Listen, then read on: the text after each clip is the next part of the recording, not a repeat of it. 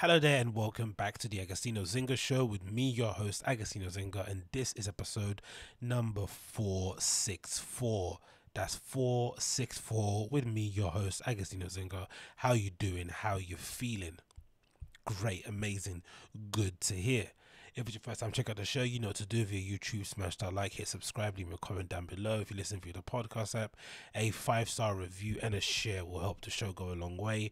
I've just recently actually checked. Let me see. I've got a couple of new reviews on there as per usual, but it'd be great if I could get a few more. So if you haven't subscribed, if you haven't reviewed the show on your podcast app, wherever you listen to, then make sure you do that. That would obviously help it to go a long way. It's free. It takes you only a couple of minutes to do so. If you can spare a couple of minutes to do so, then make sure you review the show on your podcast app. And of course, support via Patreon is always more than welcome as well. I've got bonus shows on there, movie, movie reviews, other extra bonus content available only through Patreon. So make sure you check that out at patreon.com forward slash Agostinho. That's patreon.com forward slash Agostinho. You'll find the link in the show notes below. I've got 12 ratings so far, so that's pretty good. I had one prior, which which is something that I wrote myself. So thank you for all the ratings that have been put on there. It's greatly, greatly appreciated. But here we are back again. Um, record sweltering day here in the UK. I think might be the third day um, in a row of record heat wave, which is a good thing. I think for most people. Um, I think for someone like myself, it's obviously a bad thing with my allergies and my tendencies to, you know, my nostrils to flare up, um, have a weird chesty cough, have to take, you know, copious amounts of allergy tablets and stuff. So it obviously isn't the best if you've got any form of seasonal allergies, but you know, what can you do? What can you do? Um, this is an article here from the BBC documenting it saying UK records hottest day of the year, third day in a row it's interesting as well because this sort of stuff only happened to me very very late in life. I think prior to turning 18, I didn't have any issues with being outdoors for you know prolonged period of time. I grew up in a fairly latchkey kind of society, right, where effectively your parents let you go out from any time um, after school all the way until you know 11 sometimes 12 at night and sometimes uh, you know longer obviously on the weekend you have to you, you basically go out from the morning all the way until the evening so there was a lot of time spent outdoors I never really had a problem with hay fever whatsoever. And then suddenly, out of nowhere, after all those years of playing Sunday league football, rolling around in the flipping bushes, you know, doing all sorts of madness, lighting fires. Remember that sort of thing when you used to go into a park and just light fires, you know, retarded stuff like that, flying kites, um, doing all that nonsense. And then suddenly now, at this grand old age of mine, I've suddenly developed, you know, allergies and stuff, seasonal allergies, sports related allergies, wherever it is. It's annoying, it's embarrassing. I have to carry around these little, you know, inhalers on me just to make sure that I'm in adequate physical condition. Got to take these dumb tablets as well. Remember to take them all the time. It's just annoying. I I'm I'm a fairly low maintenance type of dude, and having to you know do all these other extenuating things in order to make sure that I'm a functioning human. It just just just drives me up the wall. It drives me up the wall. But what can you do? The BBC article says it's been the hottest day of the year in the UK for the third day in a row. Temperatures reached 28.3 degrees centigrade, uh, centigrade sorry, Celsius, centigrade Celsius in Northolt, West London on Wednesday afternoon. It beat the previous day's high of 26.1 in Cardiff on the first day of the meteorological summer. But there's been uh, showers and even thunderstorms in some areas, with those uh, spreading north as the day progressed. More warm weather is expecting for many parts of the UK this week, but it will then start to cool out. The forecasters say. I, I love a good summer rain, you know, when it's really, you know, scorching hot and all of a sudden you get a flash rain. There's nothing better than that. I remember once, you know, spending the summer in New York. This is the first time I went, maybe early 2010 ish times, and experiencing that for the first time, right? Where they have really good summers. I took one of my um garb store cagoules there with me. Right? It's a little rain jacket with a waxed outer layer, thinking I was looking hard and cool. And then it obviously started raining, so I wore it out and about in the streets. But then quickly, after you know, in a space of like 30 minutes, the sun came out. It started blaring again, and legitimately all the puddles in the street completely dried up, and I was left, you know, carrying this really sticky and wet rain jacket. But um, I should have just done what all the locals did, right? Whenever the rain comes, they just run into a bodega or run underneath a canopy somewhere and yawning or whatever it may be. But definitely wearing rain jackets and that sort of weather isn't the best thing. Just actually better just to kind of acclimatize with whatever weather happens to take part during that time. But yeah, people out outdoors enjoying it, and I'm holed up inside, being like, I'm not going outdoors.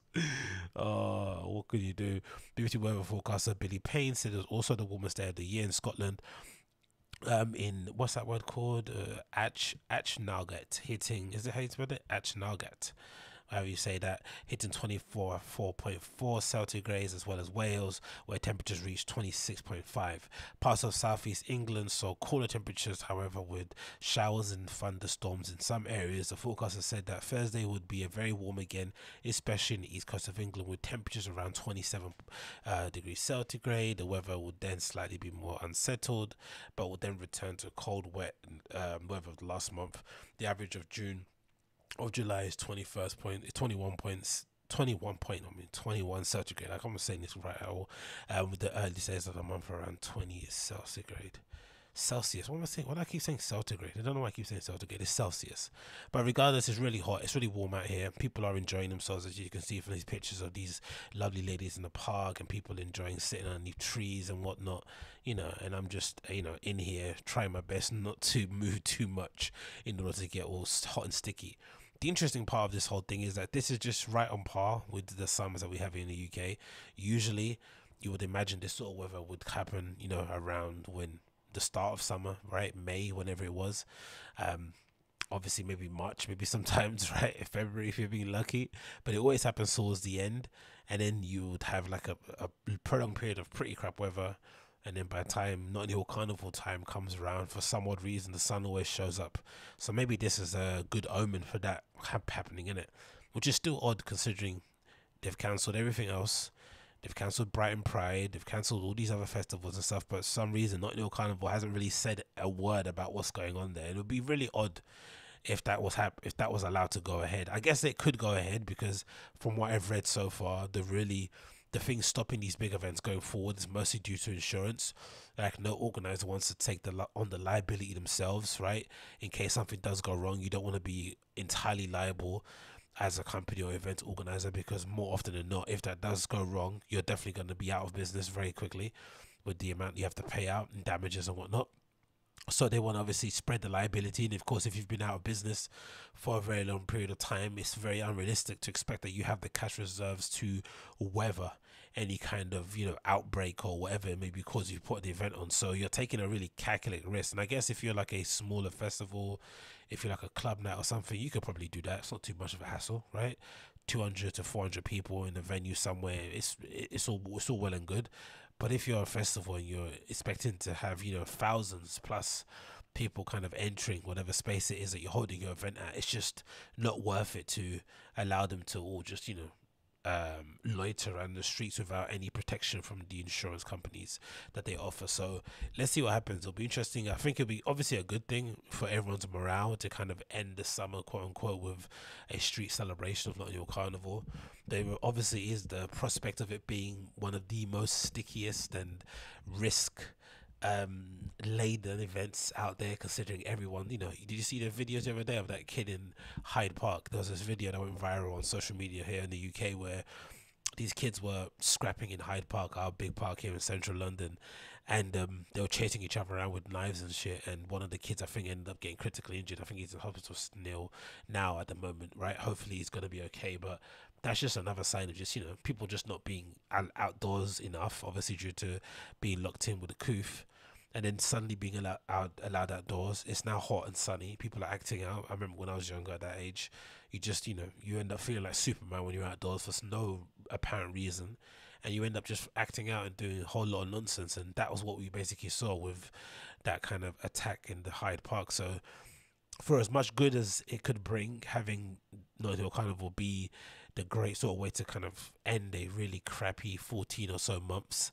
It might be the worst thing to happen. So maybe just to avoid any trouble, you just let the summer play out as is and then hopefully come back again next year. You would imagine so, but who knows, man? So far, we haven't really had any confirmation from them what the deal is, really.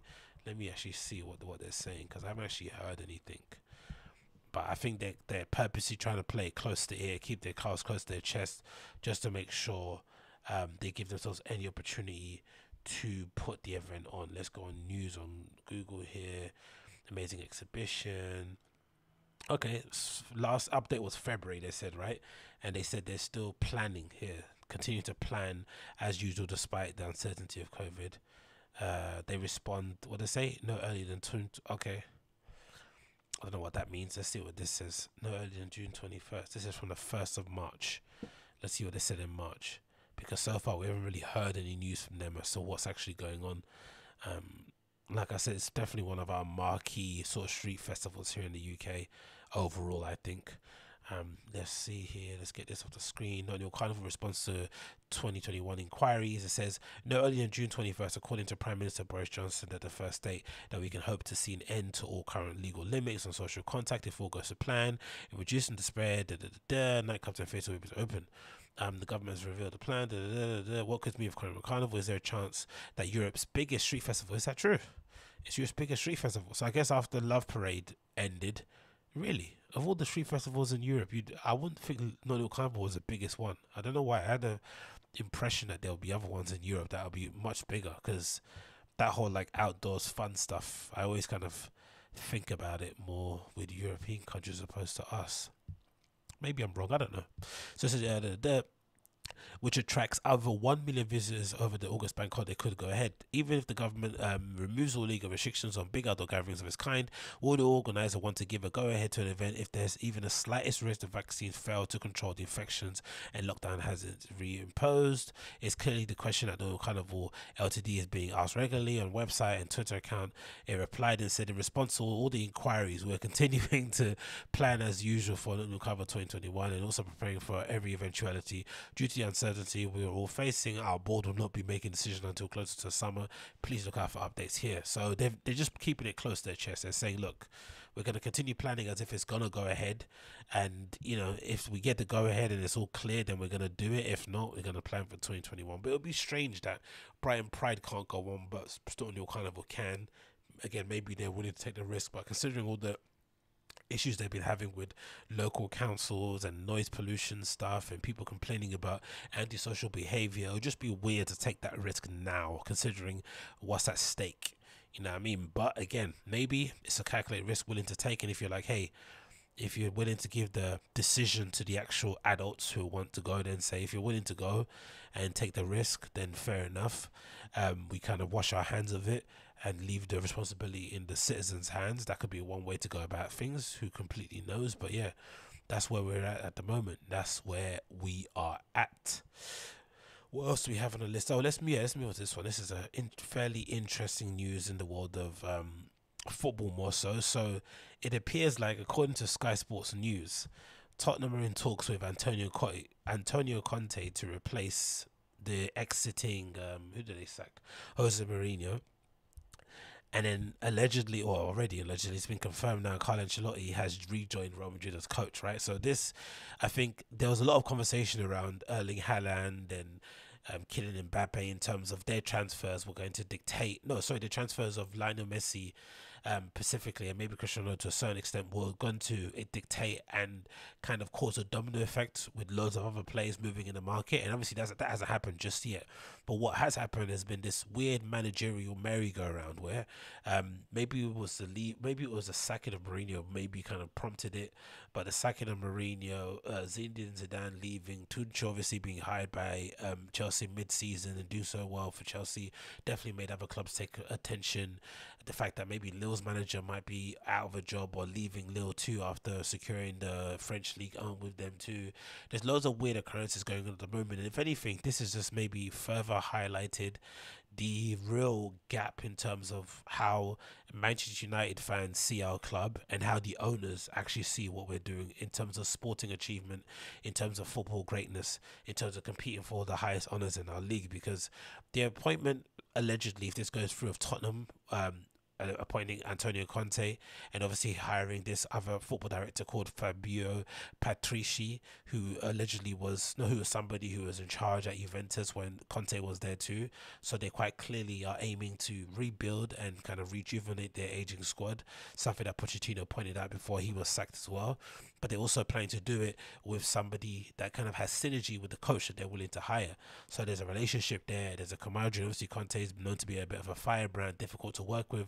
So if you're gonna make it as easy as you can for yourself, why not hire and bring in somebody who worked well with him during that time? And then you've got, of course, Real Madrid deciding to move on from Zidane and reappointed Carlo Ancelotti, who's essentially a safe pair of hands. If you want to hire somebody who can maybe transition the squad out of the, you know, Bale, uh, which was his name, uh, Benzema, Sergio Ramos, all these kind of aging Real Madrid legends, and sort of ushering a new um, dawn at Real Madrid. The best person to do it with is maybe their greatest man manager, right? Somebody who a lot of players have a lot of time for. Um, he's very well well regarded. Um, Ramos even had a lot of great things to say about him during his time there, and a lot of the players were actually disappointed when he got fired. I think in 2015 it was. So there's a lot of kind of um, sense in this decision. Of course, Ancelotti's sake, you know, even though his time at Everton wasn't the best, you know, getting the call from Real Madrid was just a no-brainer. I'd imagine his contract he signed at Everton probably had a couple of clauses in it where if a certain club of a certain stature approached him during his time at Everton, if he'd done a good job, then he could uh, trigger a move and maybe buy himself out of it, of the contract, whatever it may be, or trigger an exit kind of strategy. And that's what he eventually ended up doing. But these two transfers or these two managerial appointments, uh, one potential in Tottenham getting Conte, and obviously one confirmed with Ancelotti going to um, going back to Real Madrid after joining Everton, are a clear indication that these teams are striving to win trophies. They're striving to win the league title. They're striving to compete for the biggest honors. What we're doing at Man United at the moment, from what I've seen, again looking from afar, it just looks like the remit has suddenly changed in terms of what's kind of uh, deemed to be a success. Maybe it's because of the level of manager we've got in Solskjaer. You can't really expect him to maybe achieve the heady heights of winning the league or winning title or winning trophies consistent on consistent basis because he's a bit of a you know average manager in that regard. And it's mostly about the things in and around him being in place in order for him to do his best work. Some would argue that. I don't really think that's true but some would argue that's the case. What's interesting is that we've suddenly approached this period in time with Solskjaer where because we've been able to qualify for the Champions League, I think now two seasons in a row, we've basically been able to see that without trophies, the two seasons in a row qualifying for the Champions League in the top four is basically a clear indication that we're okay being a team that finishes in top four without winning trophies because the number one remit to be a successful Man United coach right now is top four football. If you don't get top four football and you still win the Champions League, you can still get fired because the Glazers want that European money. They want that prestige. Um, they want that access, that guaranteed income that comes in season in season out.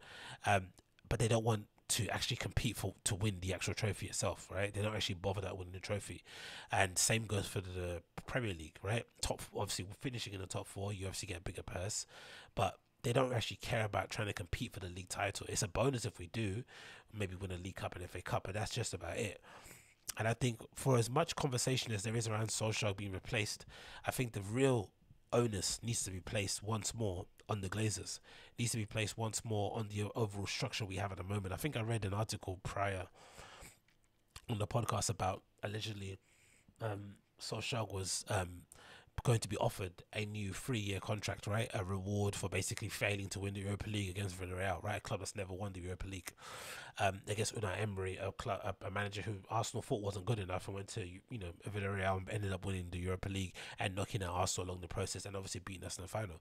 But hey, we put that to one side. We've obviously seen now with Solskjaer that those trophies don't really matter. Just the league titles is good enough and it's really concerning, which is why I say the attention needs to be put back onto the Glazers and the overall structure of the club.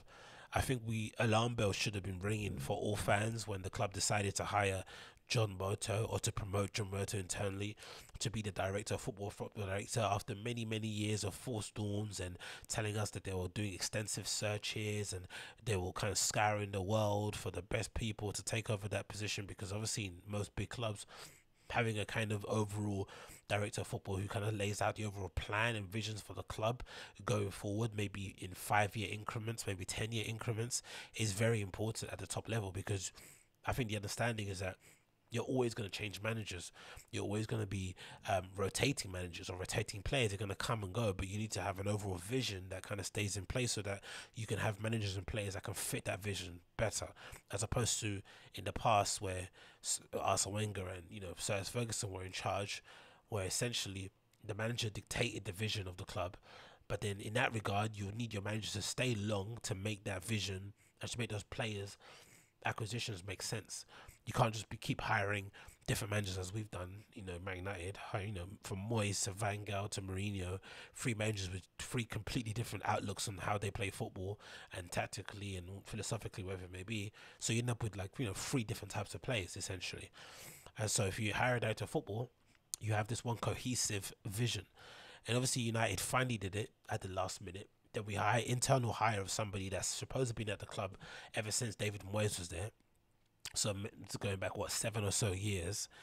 Um, hasn't really shown any kind of ability to really um, you know compete or to battle on the same footing as some of the other stellar director footballs out there in world football and essentially somebody who is you know very happy and okay with the job that you know Ole Gunnar Solskjaer is doing right now United.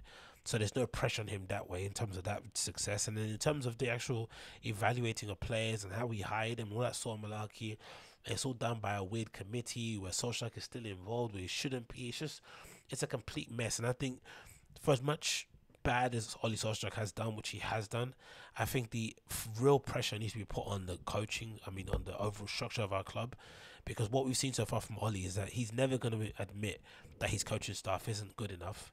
He's never going to be, um, he's never going to have the guts to maybe say he's not good enough and we just step away and get someone else take over the job. He's never going to call out the Glazers and say that they're not adequately backing him in terms of signings because he's quite clearly shown us he can't be a coach that's going to bring out the best in you know mediocre players. He's going to need high quality first team players that can just step in and play for him to be anywhere successful in this club. We haven't actually seen the evidence of he won a trophy, but in order for him to actually be successful, the only way he can do it is by having really, really good players. Um, the Glazers are unwilling to spend a lot of money, especially since we've qualified for the Europe, for the Champions League. We always do this. Every time we need to finish in Champions League, we spend money. Every time we we are in Champions League, we don't spend that much money. So the real pressure should be put on the owners because I feel like if we had a better structure, and we had better people at the club who were really, you know, had the best sporting interests of the club to heart, someone like an Ollie Solskjaer wouldn't be at the club for so long. He wouldn't. He just wouldn't be here for so long. He would have had this season maybe to try and win a trophy. If that didn't happen, he would have got his marching orders regardless of where we finished in the league. Even if we finished second, the points tally doesn't really reflect our performances. Um, the day to day matches as well weren't really you know nothing to write home about. The unbeaten away record doesn't mean crap if you don't win any trophies.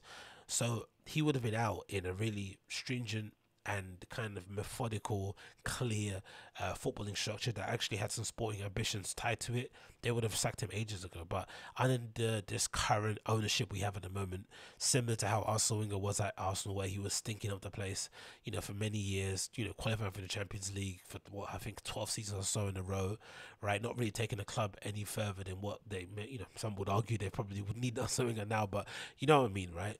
Just settling for that kind of mediocrity essentially put them in such bad positions where they're still probably trying to recover from it now.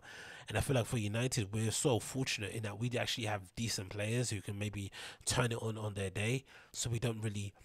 So a lot of those kind of deficiencies are sort of papered over in some regard, but sooner or later they're going to be exposed. And I'm just really concerned that we're putting ourselves in a position where we're waiting for ourselves to be on our knees until we make a change right? We're waiting for social to get things really, really wrong, and then suddenly we're gonna make a change to change things for the better. But still, the structure around the players, the structure around the team is not adequately set up in a way to bring out the best in whoever we hire as a coach going forward, and that's a really concerning part. And again, with the appointments potentially of Carlo Ancelotti to Everton, and oh no, Carlo Ancelotti, sorry, going back to Real Madrid, and obviously Conte supposedly maybe going back to Spurs uh, going back to Spurs, going to Spurs, Pochettino, uh, you know, threatening to leave PSG. There's all these big coaches with pedigree, with you know, uh, prestige, with whatever it may be called, right? With a good reputation, with actual good, you know, credit in the bank, who are there and ready to, you know, maybe you know take over and enact some change. It's really disturbing to see us just settling for what Solskjaer is giving us at the moment, just because we finished second it's just a very bizarre state to be in at the moment. But you know, I guess this is what happens in it when you have years and years of mismanagement from the upper levels. It's just it's it's always gonna come back to roost, and I think this is something that we're just gonna have to swallow as United fans. Like we just can't get away with being. I just think it's unfair for us as United fans to expect us to win stuff, knowing that we have probably one of the worst run clubs in the top four easily, maybe in the top ten in terms of like you know footballing people, you know doing right by the club's heritage and all that malarkey. We're definitely the worst run football club. Um, considering it was actually all our resources and our you know ability to generate money, it just doesn't make any sense why a club like ours should be in a position to challenge for trophies. But we are. We still finished second. We were in most cup, cup competitions until the you know somewhat latter stages, as part from the Champions League, where we got dumped in the group stages. But for the most part, we did pretty well, right? Um, overall as a season. So there's obviously something there. It just needs a little bit of tweaking, a little bit of direction, it's a little bit of quality. And that means managerial, coaching wise, right? It needs quality in there. No one can tell me Solskjaer is a quality coach because he isn't. He leaves United, and I will, and I would really be surprised if he gets another top ten job. Really surprised. Um, so that's very concerning in that regard. But again, maybe it's just something we just have to swallow. I just don't see United challenging for trophies and league titles with the Glazers in charge, with John Murtough as a director of football, with Darren Fletcher as his assistant. It just doesn't work like that. You have to have high quality people in those positions in order to bring out the best in whatever you do have as a club. It just doesn't work like you just sign a, a good coach and then suddenly you start winning things in the papers over all the other cracks. It doesn't work like that anymore. You need to have structure in place, especially if you're bringing in these really top level coaches who don't really want to be managers anyway, who don't want to do all the marketing and sport, you know, overall responsibilities that Sir Ferguson did before. Some of them just want to do training sessions. If that's the case, you're going to have to be able to have people in place who can get them the best players, best training facilities, best coaches. And at the moment, we just haven't got that. We just haven't got that. Next on list, we have news here courtesy of Sky Sports concerning the final England squad. That it feels like um, Gareth Southgate probably, you know, chickened out of a little bit by naming four centre backs. I mean, so four right backs, which is legitimately one of the most insane things I've seen in a long time. But hey, you live and go on. So this is courtesy of, let me see if it's loading or so I can see the actual final squad list. Oh, there it is. So the final squad list reads as follows. Goalkeepers, you've got Dean Henderson, Sam Johnstone, Jordan Pickford. I don't think there's any sort of surprises there. Um, goalkeepers kind of pick themselves. Then uh, defenders, you've got Trent Alexander-Arnold, Ben Chilwell, Con- Conor Coady, Reece James, Harry Maguire, Tyrone Mings, Luke Shaw, John Stones, Kieran Trippier.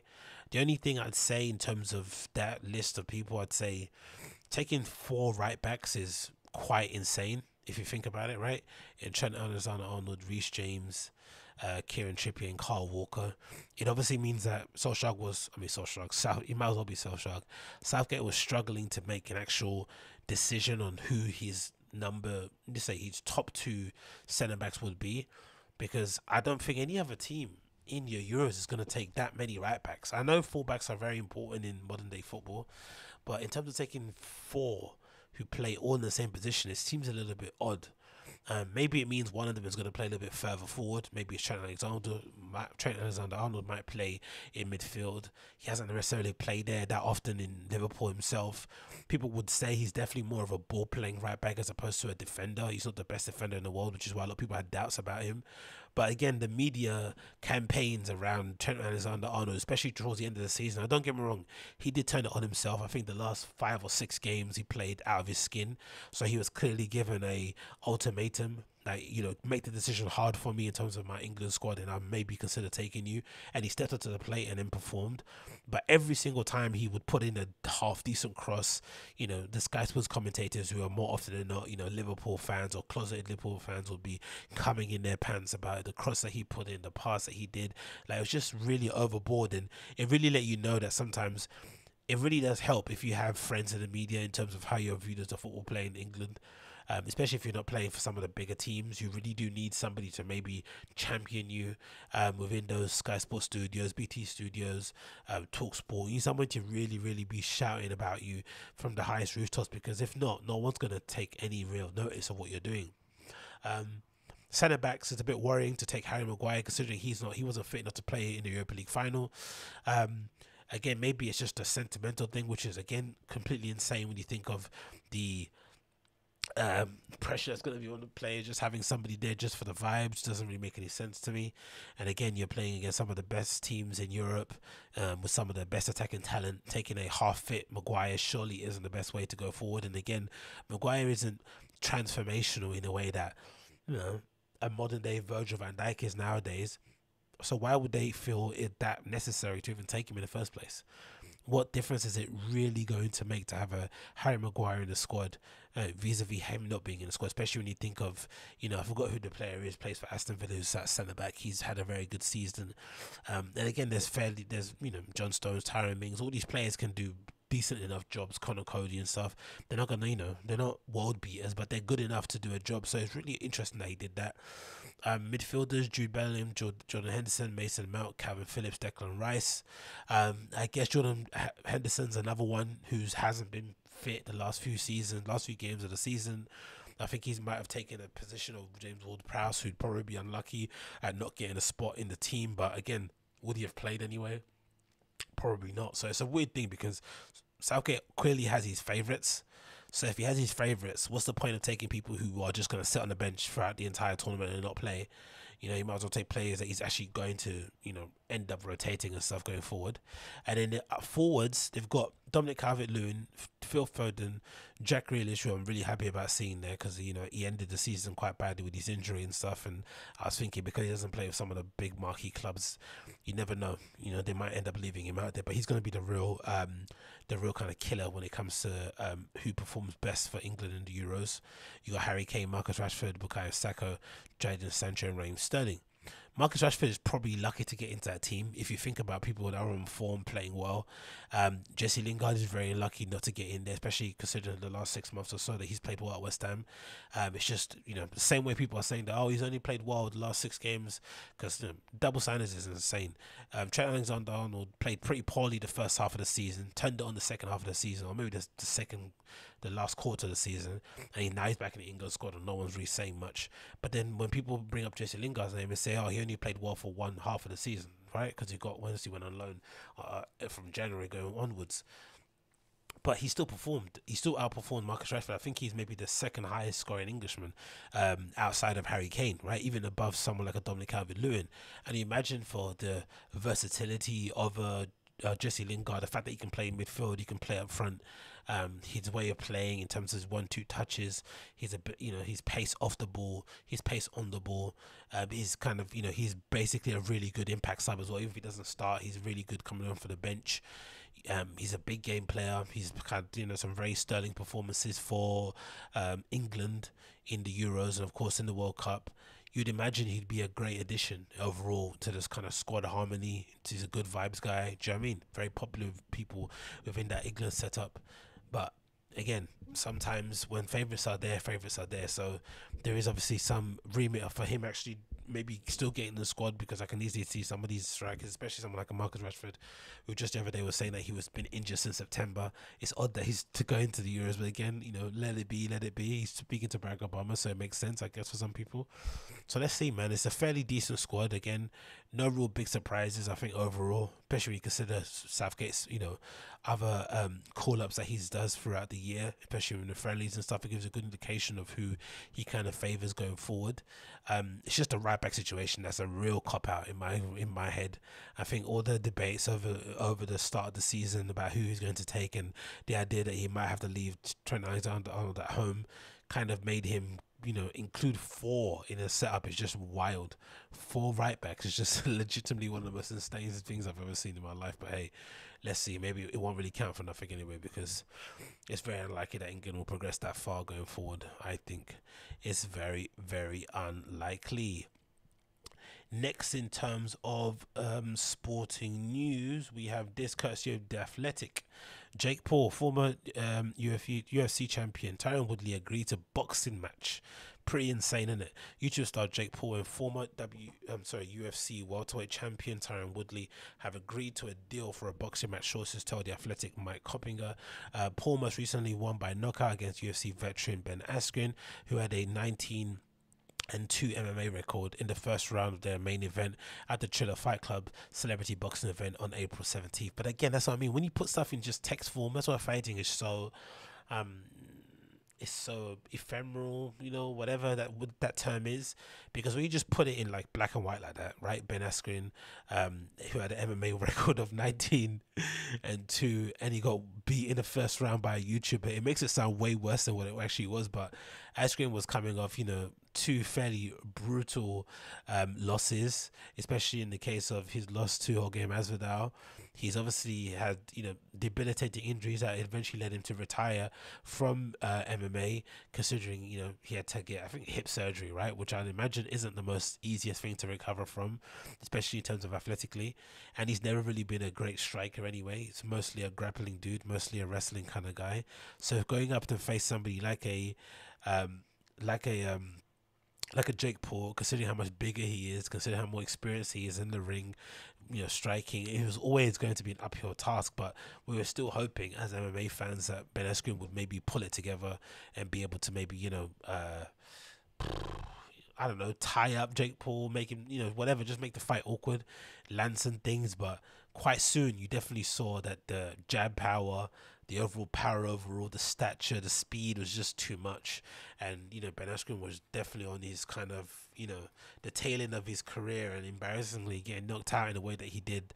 It was just hard to take. So when I see stuff like this with Tyron Woodley and Jake Paul, as much as I would love Tyron Woodley to knock Jake Paul's head off his shoulders, it, I just can't see it happening, right? I just can't, like, Jake Paul's gonna win again, and he's gonna one by one take out all these veterans that everyone's kind of grown to love over the years, and solidify himself as the, you know, undisputed legend killer of the UFC. That's what Jake Paul will eventually be. It continues here. Says uh, as, as a pro boxer, Paul has a three and a record um, who knocked out former NBA player. That seems like ages ago now, right? Nate Robinson last November. Paul 24 recently signed a multi-fight deal with Showtime Sports. Again, they get into the paper. These these fucking poor brothers, they're smashing it. Woodley's last fight in the UFC was a loss to Vicente Luque in March. Woodley 39 boasts a 19-7 and 1 professional MMA record and is riding a four-fight losing streak. The last two by finish. Insert personality Logan Paul, Jake Paul's brother, is set to face Hall of Fame boxing champion Floyd Mayweather an exhibition match in June 6th, which is initially set for February 20th. Before da, da, da. So, on paper, you would still say that Jake Paul is definitely the favorite for this because if you look at Tyron Woodley's record, this is Tyron looking record on from Tapology, right? Like whoever this freak of an athlete was back in the day with the power and the speed and the aggression that he had, it's just not the same Tyron Woodley. So if you scan down to his record here on Tapology, you'll see that of course he's coming off a four fight losing streak. His last win coming against Darren Till in 2018, right? Win by D'Arce choke. The one after before that was that kind of uh, tetchy fight against Demian Maia, which then followed the Stephen um, Thompson fight yeah, two fights in a row, which were pretty tense in terms of the lack of striking and moving for both. They were trying to both kind of counter each other. It was just a bit of a dead stalemate. Obviously, the Darren Till performance was really impressive, considering Darren Till how highly regarded he is. And then, you know, the downhill trajectory started with Kamaru Usman, right? Completely dismantling him from beginning till end. And then, of course, the loss of decision to Gilbert Burns was brutal. Um, the Colby Covington uh, fight as well was brutal, considering their back and forth. Uh, Luque as well, completely demolishing him. Even though um, this was maybe Tyron Woodley's best fight because it was I think the last one fight in his contract, so he kind of went out and he showed a bit more. But whatever we've seen in these last four fights is that Tyron Woodley's punching power isn't what it used to be. I know there's a quote now being attributed to Sylvester Stallone where he says something along the lines of um he thinks Tyron Woodley's gonna win because supposedly the last thing to go for as a you know, former pro fighter is your punching power. You might lose your speed, you might lose your agility, maybe some of your coordination and your timing. No, not coordination, maybe your timing. But in terms of your actual power, if you've always had power, you that's the last thing to go. So if that's true, he's still got a puncher's chance. But it's not as if Jake Paul doesn't hit hard. He completely hits hard too. You see what happens to Nate Robinson. Fair enough, Nate Robinson's not a boxer. Don't get me wrong, but from what we saw, when he got touched, he felt that. You saw from Ben Askren when he got touched, he felt that. Um, so far, the only person to really go the distance, I feels like with um Jake Paul has been Deji in it, right? He went not distance, but he went five rounds or something, if I'm not mistaken, with Jake Paul. So I just don't see where this is going to end well for Tyron Woodley. I really don't. Um, we've not seen that power. We've not seen him let his hands go in the ring, in the octagon, especially in the UFC. It's been really frustrating to see how he has, over the years, kind of diminished in terms of his power, his stature, his um, intimidation appeal. Right in the ring, he used to be, you know, that kind of muscular, flipping big bummed, uh, you know, massive fight, kind of fast twitch athlete he was in the in the octagon. Slowly but surely, kind of diminished. He didn't, you know, he didn't shrink in size, but whatever kind of, you know, uh, force that he had in the octagon just completely died. I don't know what happened. Maybe it's just a father time taking over because again he is 39. He's quite long in the tooth when it comes to fighting professionally. You know he might be only only 39 in age, but in terms of actually dog years and fighting in the octagon, it's been a long, long, long time. So for him to go and suddenly try and fight a 24 year old with, you know, everything to gain, nothing to lose really in this regard, because no matter who Jake Paul fights, he's always going to be I think this fight might be the only one where he might be the favorite, but in most of them, even if he loses, he still comes out of it victorious. The fact that he's willing to step in the ring with some of these killers is just, you know, says a lot about him as an athlete, as a person. So the pressure's always on the professional fighter, always on the professional fighter, especially someone like a, you know, like a Tyron Woodley coming off a four loss, uh, a four loss loss streak. It's just I don't know, man. I just I don't see how this is gonna end well. And then we got here this article from MMA Fighting that says Jake Paul Tyron Woodley will be dropped by a Disney star in two rounds. oh, this is horrible, man. This is absolutely horrible. Um, it says here, what did he say in his caption? Um, yeah, let's see here. Blah, blah, blah, blah it's official. What is it quote here? It says here it's a.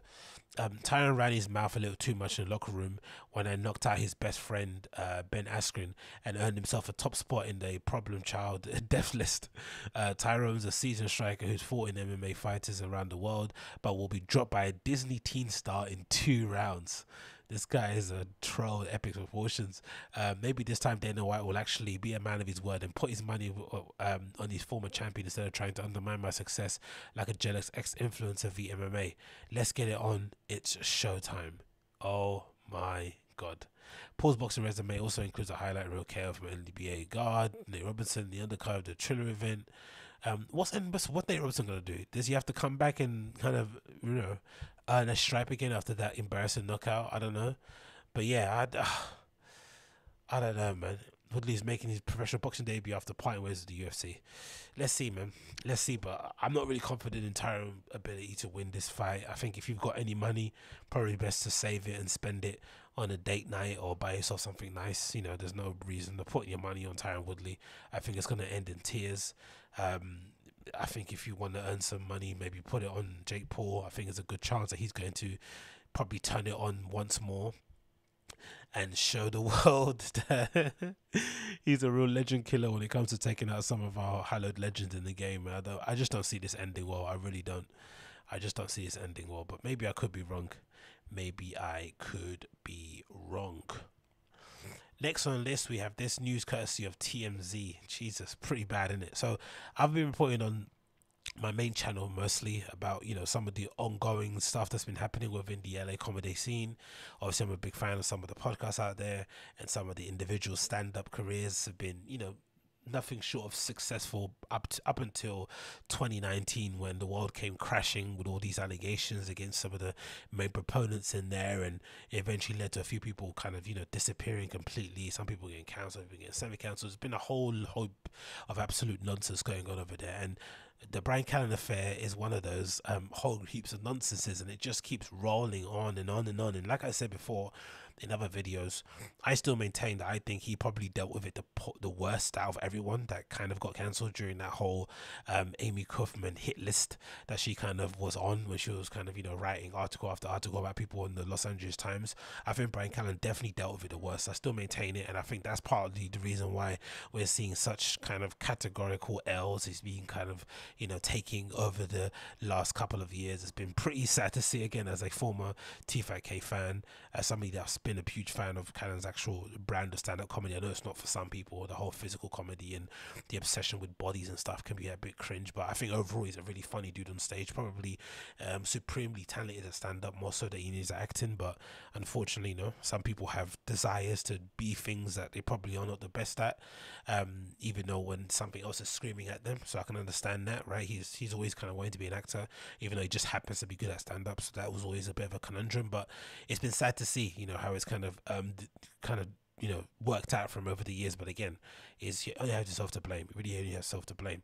So it's courtesy of TMZ. It says Bryan Callen divorce, you get a house, I get a house. X also gets 20k per month. Like, I don't know why people get married in America. I really don't, especially if you're a celebrity. It's just the laws there are absolutely insane. So it says here, uh, Bryan Callen officially divorced while he's paying a nice chunk of change and support. Their assets are split pretty evenly, right down to their two pups. The actor and comedian, best known for his Hangover and ABC sitcom The Goldbergs, finalized his divorce with Amanda Humphrey earlier this month. And according to the docs, Amanda gets a Santa Monica crib worth 3.4 million. She also gets to keep a least 2019 Lexus GX 460 Sportswagon and several bank accounts. Bryan will also pay Amanda $11,496 per month in spousal support and $8,504 a month in child support for their two kids, 13 and 9 year old, whatever, right? Jesus Christ, this. And I wonder why this is. Why is I get maybe because they're under eighteen, if that makes sense, right? Maybe you have to pay child support until they're eighteen years old, and then they can become adults and they kind of have to fend for themselves. But this idea that you have to kind of keep up spousal support for your partner, even though you're not together anymore, you know, every month for what until the day that they die is just pretty much insane. Maybe because it's LA and they work in the entertainment industry and there's this understanding that you know there's not a way to put value on what your partner does at home when you're out there on tour, you know, smashing all the girls on road and stuff and do whatever you're doing. There's not a value you can put on it. Maybe that's one to, one way to kind of see it. But I just don't get this idea that how you can be in love with somebody, be in a committed relationship, and it doesn't work out for whatever reason. It doesn't work out, and if for some reason you are beholden to support them financially until the end of your time, even though you're not together anymore right? Because part of the reason why you're together well, when you're together, you'd imagine like what's mine was yours. But when they were not together, why would you then continue? It's like, I don't know. It's like um, it would be a little bit weird if you end up breaking up with somebody, and then you know the very next week you wanted to go over and you know borrow something from them to use. Like, oh, can I borrow your iron? Can I use this? Can I use that? It should be strange. Part of the reason why you break up with someone is because you can't stand their company. You want to have like a cream break and maybe move on to pastures new. Having them pop back in again to use your amenities just because you happen to have them is just a bit bizarre. Um, same thing with this kind of monetary support. I get it with the children. Again, um, you know, even if it's until the end of their lives, fair enough, because you've both, you know, um, decided to bring into um, life forms into this world, and you owe it as parents to be supportive of them. And if there is a possibility that a guy can run off and not be a good dad, a good dude, then maybe it's for the courts to step in and say, no, you owe these kids some level of monetary support. If you're, you're not going to give them your parental love, fair enough. But the spousal support thing is just odd. I just find that very, very odd. It continues, and speaking of the kids, Bryan and Amanda will share joint legal custody and having already hammered out a, visitation schedule. Their two dogs are kind of a package deal with Stella and Finn. The pets will be with Amanda, but when the kids are with Bryan, he'll get the dogs. However, Amanda keeps their house, of course. Now Bryan's walking away from the Venice home worth nearly two million in his two, 200 2014 Toyota Prius and his leased 2019 Tesla Model S. He also keep the rights to his podcast to find a kid and some of his bank accounts. As reported, Amanda filed for divorce back in 20 February 2020 after 12 years of marriage. The interesting part about this again because it's, you know, it's not really anyone's business, but because they keep pointing out all this information out to the public, it's kind of their fault. But I remember at the time when it was announced that they were getting divorced, a lot of I think predominantly Brendan was basically saying that oh it was a good thing, right? Like um Bryan's actually looked the most happiest he's ever seen him now that he's divorcing his wife of 12 years who was there with him when he was in the trenches, you know, nothing but, you know, um, an afterthought in movies and whatever it may be, and kind of, you know, slowly but surely peating along in his Hollywood career. But regardless, right? Um, this was kind of something that you kind of they were trying to make out as this is a good thing but the fact that amanda was the one that initiated the divorce kind of led people to believe that maybe it wasn't all true how they were painting it to be. Now, fair enough, you have to kind of make the best of that situation as you can, but considering what's gone on, considering what's happened in terms of Bryan's accusation and stuff, you'd imagine maybe having somebody that's been actually with you through thick and thin would probably be a little bit more advantageous than being the single dude uh, out on the prowl again in this new world where you've kind of been painted as a bit of a monster in terms of a bit of a creep. It probably might not be the best avenue for you, maybe, who knows. But I don't know, man. People in Hollywood have a strange way of looking at themselves and their position in the entertainment industry and all that malarkey. So maybe he just deep down generally feels like, no, this is a better move for me overall career wise. But what a what a weird way to end, you know, what was kind of a really stellar, you know, two or three years prior to the allegations, isn't it? Right? Like stuff was really popping off in terms of the Fighter and the Kid. They were making, you know, cope, you know, money hand over fist, moving into new studios. It felt like every other month or so, getting really great guesting, great chemistry.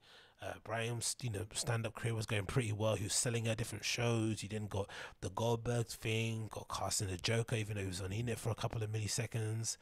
Um, got his own spin-off show or you know got a show got was allowed to star in another spin-off show.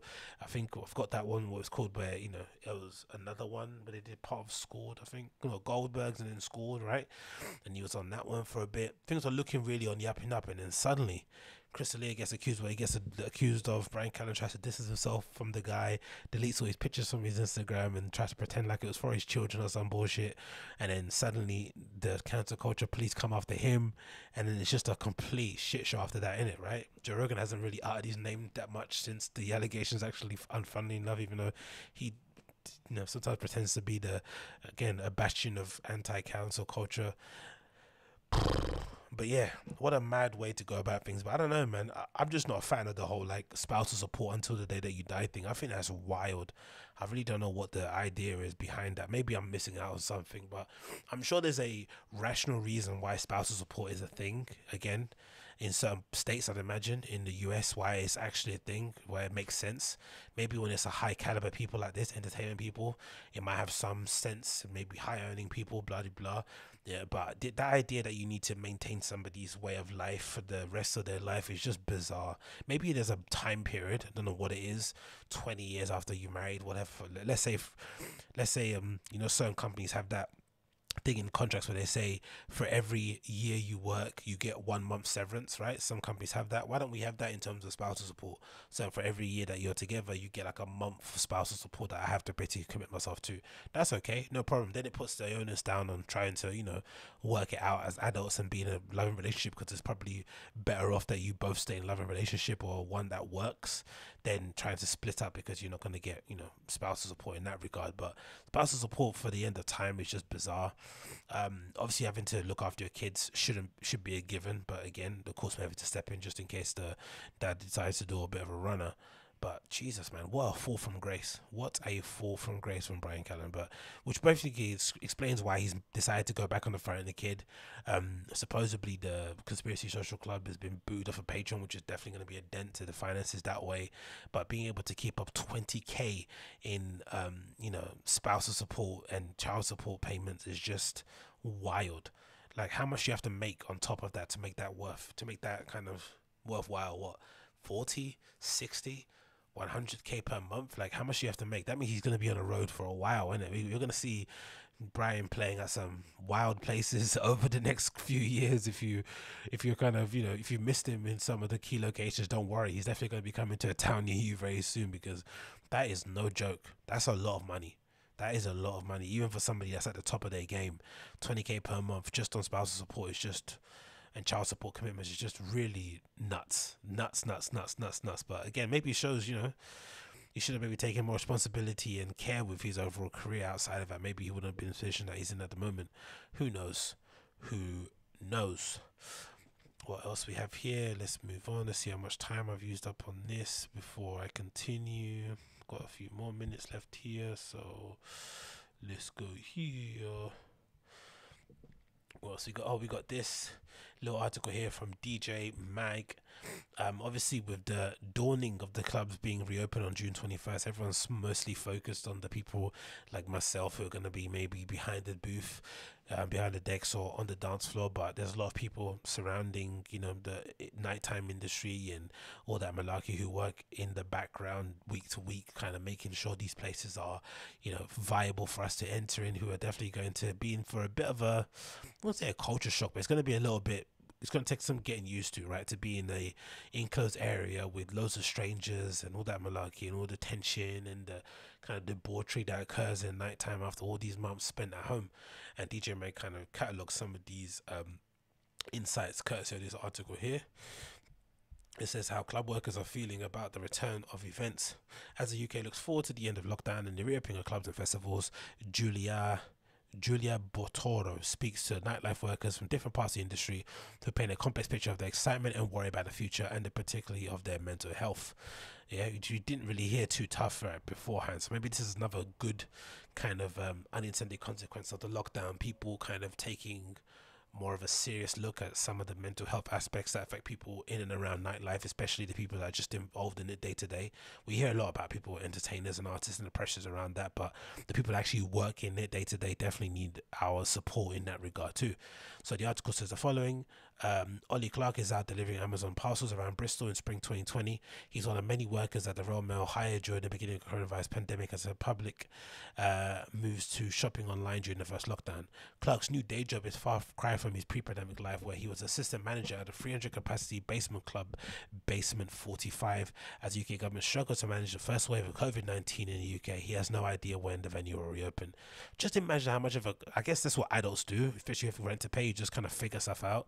But imagine how much of a shock that must have been to the identity to go from being the assistant manager of a pretty well known, you know, 300 capacity, I guess, club in Bristol. I've never been to that place, but I'd imagine it's pretty well regarded within the scene. To go from that to suddenly delivering Amazon parcels, like that must be a bit of a shock in it. Your whole identity is wrapped up in being the kind of basement guy, and then suddenly having to pivot to delivering parcels is like, oof, it takes a lot in it. I guess it's a good thing because the only silver lining would be that a lot of the people that work within nightlife, I would imagine, come from humble origins, right? They've of bounced around from job to job, so it's not really a big deal in terms of going having to do a certain thing in order to kind of allow you. Because that's the kind of premise that people have when they do IB for residencies, right? When you do that thing, the idea behind that is that you kind of work there for a certain period of time, save some money, and then you kind of spend the rest of the time sort of enjoying yourself, right? But there's an idea of like seasonal workers, right? So maybe when you're back home, you might do some factory work to allow you then to go out and maybe, you know, party and work that way. So maybe that's the only silver lining of it. But that must have been a bit of a culture shock to say the least. It continues, it says, I knew I wanted to come back to this role at Basement 45. I didn't want to leave the industry at all.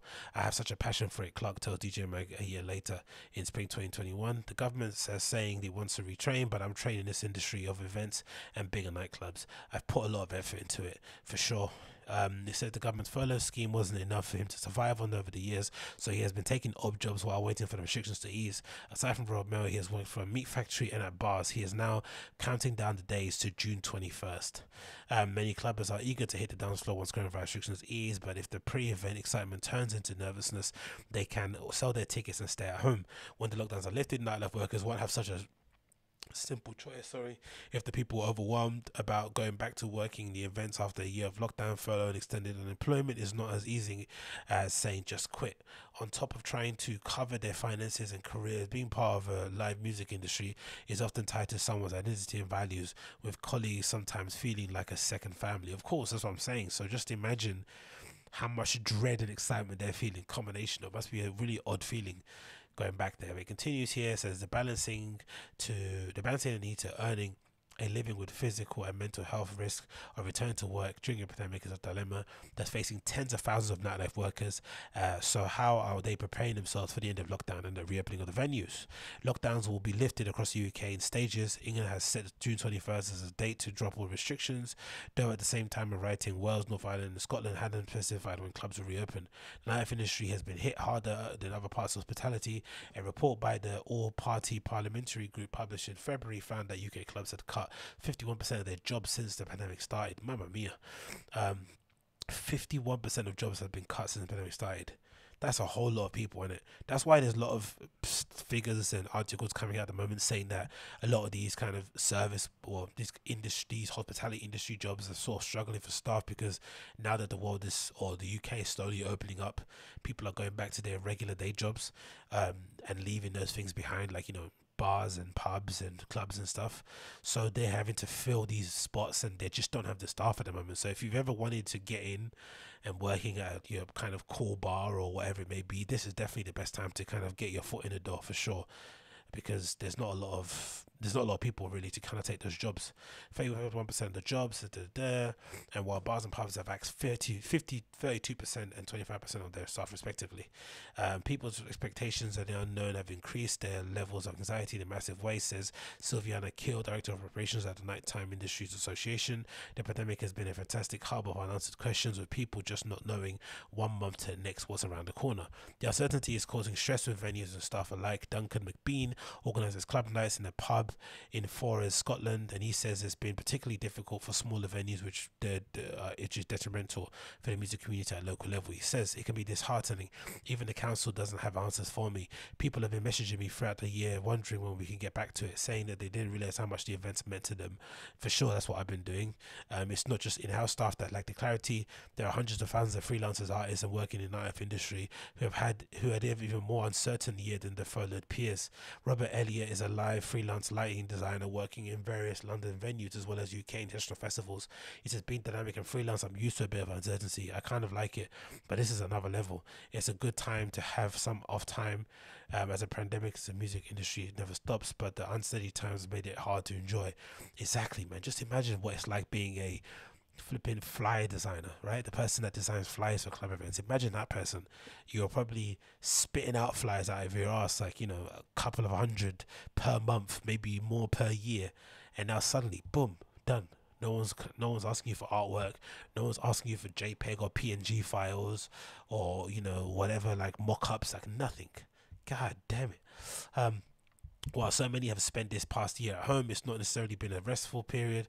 Booking events into the calendar is creating conversations about social and health anxiety. While some people are excited to return to some sort of normality, others are more cautious.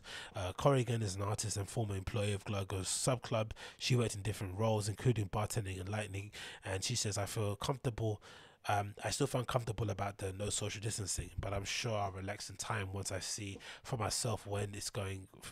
Well, see for myself when it's time for that stage. I feel some sort of reluctance getting close to people right now. I'm much more sensitive of noise recently, and I have to make sure I've always have earplugs. Nightclubs can be intense, and I'm expecting to feel anxious as I've done with such as, as I've done such little socializing. I even get anxious um, going to a supermarket these days, and that's something that I've kind of said ad nauseum to everyone that will listen to me. But I'm very skeptical about this idea that all of these events are going to be jam packed and everyone's going to be overflowing in the streets. And it's going to be the return of a new dawn of raving. I think there's going to be a lot of excitement, obviously, the first couple of weeks first couple of months, but then it's going to slowly but surely peter out. I think people's sensitivity to being in close proximity areas like that. Um, as you mentioned, having sensitivity to noise to people is def has definitely changed during our time in, during COVID, and people's maybe just as people's maybe outlook and what they kind of desire for their life has definitely changed. Because for as much as I want to return back to club, and I think some people might just be like, you know what, that might be a sign for me to kind of move on to other things. So those people aren't necessarily going to be running back to the club at the first thought, right? They're going to be going to other things that they want to maybe go to. So I think this idea that everything is going to be sold out and people should jump. That's why I was kind of hesitant about putting on my own event that I was planning on doing. I've kind of felt like mm, I just kind of just see how it goes the first couple of months, and then we can go from there. And I'm I'm in no doubt, obviously by Christmas, you'll definitely see a more cons concentrated concert maybe a more concentrated group of actual ravers outdoors as opposed to general consumers. I don't think you'll see the heady days of Liverpool Street being packed full of just tourists just eager to go out on the lash and stuff. I think it's going to be a lot more tamer than what it was prior, I think, going forward. Of course, I could be wrong, but I definitely think people's sensitivity and overall outlook when it comes to these kind of things has definitely changed forever. Um, it continues, it says, these feelings were echoed by Andre Dack, owner and manager of Ramsgate Music Hall in Kent. He said that he probably feels strange to be among crowds with restrictions in place. He says, it's such a unique scenario and I don't know how I react to being immersed in crowds until I'm there. I'm more concerned about making other people feel at ease, the staff and the audience, once they return to the venues. I'm not for. Uh, I'm not for. Uh, I've not thought about myself, sorry. I've suffered from anxiety throughout my adult life, which is unfortunate, but it also means I've got a pretty firm grasp on what triggers it. Everyone's struggling at it, isn't it? Oh, look at that. Lovely bar. Continues here, says Gemma Midlich, operation manager at London Club E1, says the start of the outdoor events in April has allowed her to be a, more of a gradual return to a job. She says, I've been lucky because I've had a soft launch. I've been back to work with these daytime things. I've not got going straight in the deep end, and I feel like this has definitely helped. If I hadn't done this, probably I would have been more anxious. Some are concerned about keeping the health habits they've been developing over lockdown. Elizabeth, a bartender in London, said she's been killed, getting more sleep and stressed about returning to tough schedule of nightlife. She says, Before I got to accept more that I can so sorry, before I used to accept more that I can do. So maybe I've learned that I'll just have to give myself more breaks. Um, I just have to be kinder to myself and follow my body because I only have one. That's definitely true in it, right? The healthier habits people have developed, going to bed at a certain time, eating a specific diet, maybe going on walks, exercising more, you know, whatever, reading, men, you know, mental health stuff, meditating, doing less drugs, all that sort of stuff has probably been a good thing for most people. So having to kind of go back to that scene where you're kind of coaxed into doing those more nefarious things and you're put around more temptation that isn't probably the most healthiest thing for you isn't going to be a good thing. But you know, who knows? It continues as that's exactly what Rose, uh, Rosa Ramon, a recovery coach and member of the Music Industry Therapist Collective, advised nightlife workers to do. She says it's an opportunity to practice consent in a way. What have you learned about yourself and your need over this period? How can you support yourself or ask for the help that you need? What can you do for others after you've been to work? Can you implement a self care routine that doesn't look like grabbing a bottle or a bag? Just really take care of yourself, attending to those persons who frightened or overwhelmed when they have to go back after the global trauma that we've been through into a situation which is now a complete opposite while some worry about the physical toll on nightlife, others are reflecting on the impact of their free time. Um, although it's nothing new that this industry doesn't really work with unsociable hours, it means that this year's workers won't get to enjoy the end of lockdown and everyone else. The people that are serving, oh, true, I never thought about that. That's a very good point. The people that are serving the drinks and making sure that everything is working are also haven't seen their friends. Um, she says, uh, was that Ra- Raoul Edward Richness, the manager of the Lion and Lamb, a London pub that doubles a music venue? We aren't open on Mondays and Tuesdays, so I won't go to have to go back to work, then that's fine.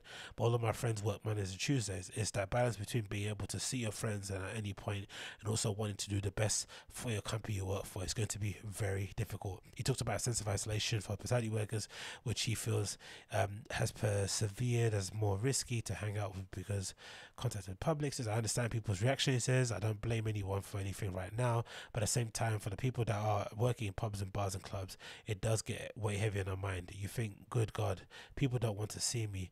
I should just do something else now. Why am I working in a pub if it means that I can't see my family? Um, it's something that almost, if you're not working in a bar, I think you wouldn't really understand. It's quite difficult to talk about with housemates or friends for sure. You know, I mean, everyone's working a conventional nine to five remotely at home and stuff, got a flexible schedule, and here you are back out on the front line, you know, serving drinks and making sure you're keeping, you know, strangers' girls' ponytails out of their mouth whilst they vomit into really spotty toilets. Um, but yeah, long article there. You can read the rest of it. But yeah, it's going to be an epic time on the dance floors again. I think for those of us that are able to go out, you know, don't take it for granted. Use that time wisely. Thank the people that are there. Tip people well. Don't be asking people for flipping guest list spots when you go out and stuff. You know, pay the entry fee that needs to be paid in order to get in, and just enjoy it for what it is. Because there's no really telling. You know, we've already given these governments too much control over our civil liberties. There's no real telling. You know when that will get taken away from us again. So don't take it for granted. Enjoy it for what it is at the moment. It's given to you. Uh, make the best of it. Look after your friends and people around you and stuff, and then go from there. Just go from there. Anyway, that is Agostinho Zinga Show episode number 464. Thanks so much for tuning in as per usual. It's been a pleasure to have your company.